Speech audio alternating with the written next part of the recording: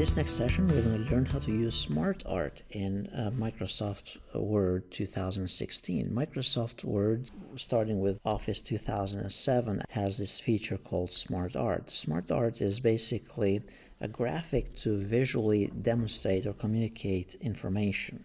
So let's say we are talking about computer security, and you probably are familiar with this, uh, the confidentiality, integrity, and availability, or as they refer to as a CIA of information security.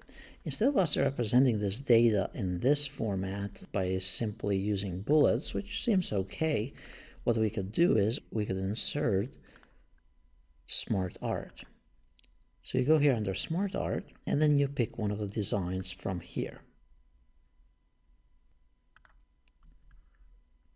So you basically could type this. I choose the design that I want. And this will be adjusted automatically. Notice you can close this typing area of the text and notice you have this handle to show this anytime in the future or you could change it directly from the diagram at this point. Of course you can resize it and if for some reason you do not like this diagram, you can pick a different one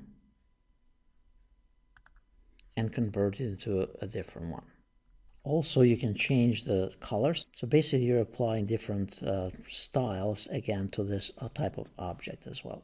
So as you kind of kind of see, it's very powerful in representing something. So notice this is what we are representing, but now this is a little bit more useful potentially here for us. So again, using SmartArt, it's a way for you to represent something in a graphical, to communicate something in a graphical way to your audience or to your reader.